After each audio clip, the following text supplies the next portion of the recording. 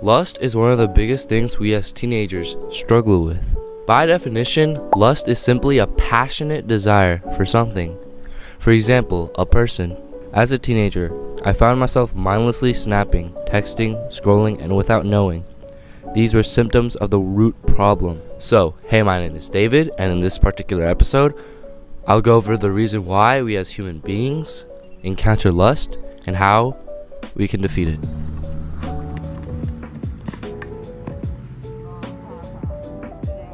I'll never look at the problem of lust the same without this one key point. When you encounter lust and turn someone into an object of your own selfish desires, it is then because of a complete lack of love in your heart. We need to first be able to recognize that our hearts are unloving and repent. The root problem to your lust is that your heart is so empty of love that it manipulates you to think that it's found in another person even so to the point that you turn them into an object. This is a very deep and sensitive topic, but I myself as a teenager have struggled with this. But by becoming a new creation in Christ and crucifying my old self, I have been winning the war against lust with the help of Christ who is my strength.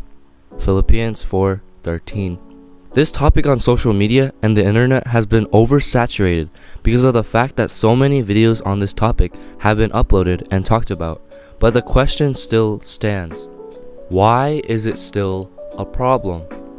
The first step to defeat lust is to recognize that it is an internal problem and that it can only be solved from within. The fact that you clicked on this video means that you had the itch in your heart that you do in fact struggle with or have encountered lust, and know that it isn't a good thing. After you recognize that the root problem of lust is because of an unloving heart, the next step is to repent. A non Christian or even a Christian would ask, What is repentance? Well, in simple terms, repentance is the changing of your mind from one thing to another. In this case, it is changing your mind from lustful, sinful, and selfish thoughts and desires to the things above ourselves. Recognize that we as human beings are going to sin. It's our nature. But every time we do sin, we need to have a plan to reconcile with God. Even as non Christians, you must come to the conclusion that the answers in which the world provides as a solution to lust is temporary. Anyway, the way you repent is to first recognize that you have sinned. Then ask yourself questions like, why am I feeling lust at this moment? Pray to God and then change your focus on something else. By the way, this is how you repent for any sin you have committed. A sin is just missing the mark of God's law.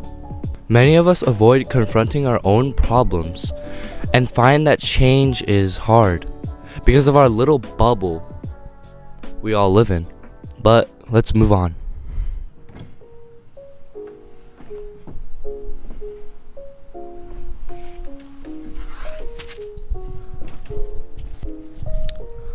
James 1:14 But each person is tempted when they are dragged away by their own evil desire and enticed. If James says that we are dragged away by our own evil desires, we must then remove the things that trigger temptation within us. The thing is that most people do not want to admit that social media is one of the leading causes of temptation and falling into the sin of lust. As a Christian myself, I've coped and have put aside this core issue and fed my fleshly desires with apps like Snapchat and Instagram. I knew the wisest thing to do was to get rid of it. But as a teenager, I knew that if I did, I would feel lonely because I already had the constant urge to open the apps and see what's happening with other people. But I came to the conclusion that as soon as I stopped texting first, I would see how many dead plants I have been watering. Rough. So, what did I do? First things first, I deleted Snapchat because I knew it had to go because it's the biggest cope. But on the other hand, I have kept Instagram because I still wanted to connect with people, but at the same time, I unfollowed everyone who I don't know. Like big influencers, people that don't follow me back, brands, and organizations. Also, by doing this, you will find out that the people who you thought that are your friends don't actually care about you unless you text first or start the interaction. So stop wasting time and focus on the grind. It's you and God. With all that being said, temptation is always lurking. And by removing the triggers that cause you to fall into lust, progress is made. And slowly but surely, you will start to win the war.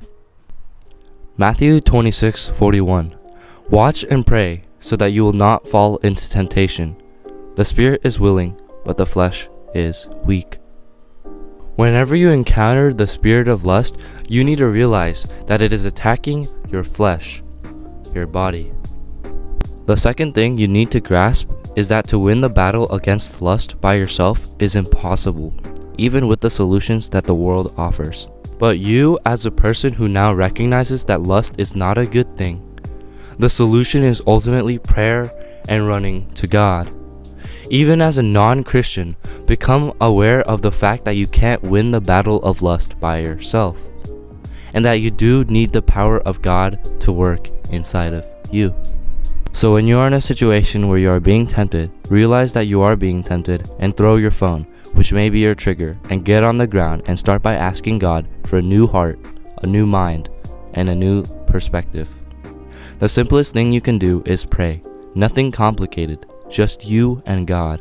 He is willing to guide and aid you. The verdict of this video is that you cannot solve your own problem of lust by yourself, and that God needs to intervene in your life to be able to deliver you from evil. I myself as a Christian testify that it does work, and that it is a process that takes time. So those who are serious about the sin of lust will be able to break free by the power of the Holy Spirit. Do the hard work, because the job isn't finished.